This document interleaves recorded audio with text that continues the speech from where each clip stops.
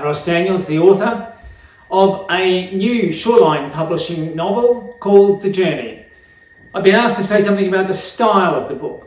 I think it moves seamlessly from situations and people.